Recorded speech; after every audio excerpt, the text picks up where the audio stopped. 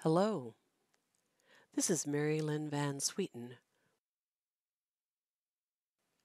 Today, I'm going to show you how to add a user-defined field to a table in a panel in Sage 100.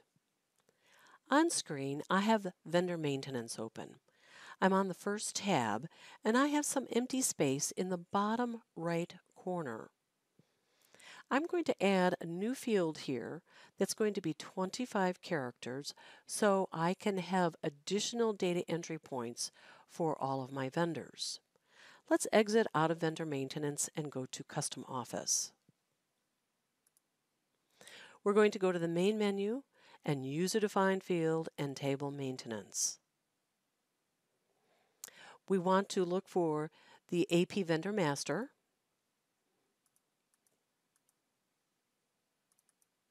and I double clicked it and now I'm going to click on edit fields. By clicking on this green little plus mark here I'm going to add a new field. I'm just going to call it new field. I can give it any description I want and then I choose whether or not this is going to be manual entry or if I'm going to retrieve the data from another source, that being a business object. This is going to be manual entry. Here's where I define the type of field it's going to be. We're going to choose multi-line. It's going to be a string, and I want this to be 25 characters long. You can see I have other display attributes, and I'm going to leave all of those unchecked. So let's click OK, and then OK again, and a third OK, and now it is going to update the data dictionary within Sage. This is going to take a few moments, so let's just be a little patient.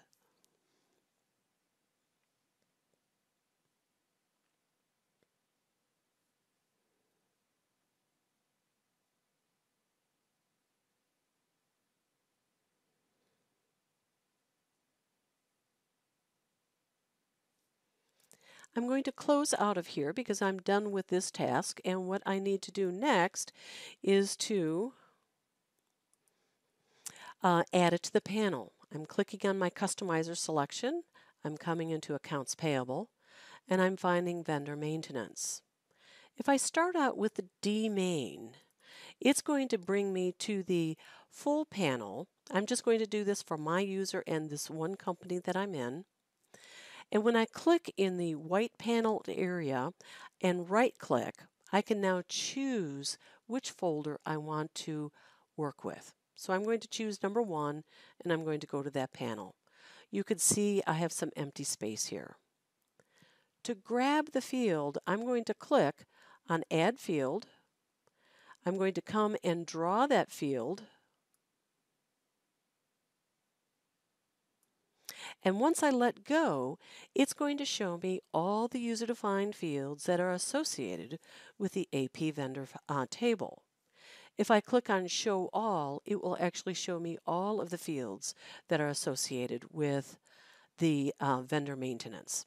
I'm going to select the new field, click Select, and here we go. You could see that my description is up over here, so I'm going to move it around a little bit.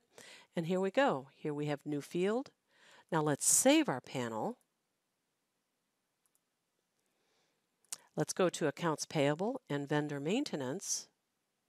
And now we could see new field where I can now start adding new information. By clicking in over here, coming up to my next vendor, um, here's more information. And what you'll notice is that when you go into your advanced lookup engine, and if I go to custom, I'm just going to uh, give it my own name and make it my default. And if I go to the bottom of the list, you can see that I have new field and I can actually add this to my lookup engine. There we go. There's the data we just entered. I hope this helps you get more out of Sage 100.